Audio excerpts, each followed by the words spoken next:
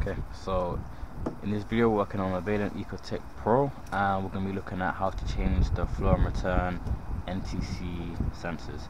Again, if you look in the description, I'll put some of the possible reasons why you might need to change the sensors. But to first get started, we are going to take off the nut at the bottom of the boiler. So we're just going to loosen that nut here and then we're going to push in these two clips either side to take the case off.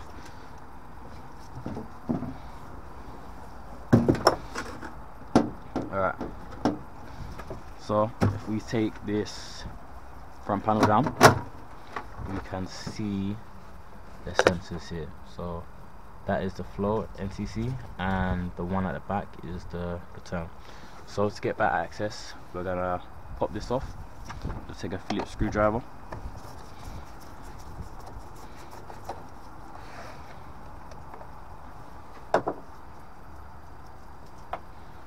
And you're going to want to swing it down and just unhook it from the gas valve there. Okay. So as you can see we have a much better view of them now. And sometimes people do get confused on which is which and which way around they go but it's quite simple. So this is the the flow at the front and we can tell that by comes out the heat exchanger here and it's on the left side. On Vaillant's the flow are on the left side. So this is red. So if you just imagine the flows hot first so red's hot and then blues return because blues obviously cold. So flow and return. So to take these off they hook at the back. So just gonna give them a little pull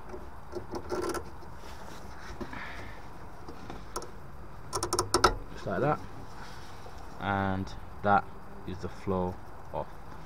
And then you can just wiggle the connection off. Get rid of the old NTC new NTC pop it back on. And then we'll just quickly take off the return one now while that one's just to give us a little more space. So you can see it's right there so we're going to do the same thing. We're just going to separate them.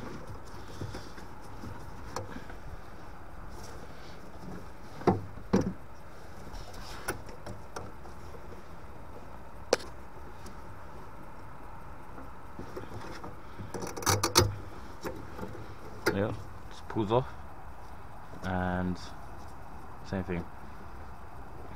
Wiggle it off, old one, new one, put it back on and then we're going to clip it back on.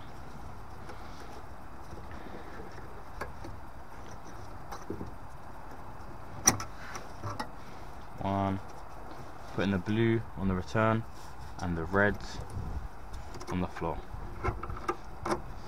Now some models have a slightly different version, it's more of a clasp so what you have to do is you just grab it and you pinch it and unhook it and it will spring off and then same thing to put it back on you put it around and hook it back on.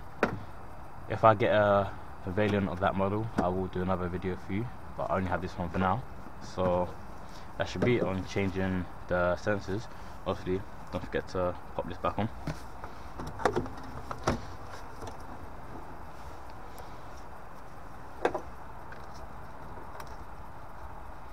And once you do that you're going to want to turn the boiler back on and make sure it's running all smoothly for the customer.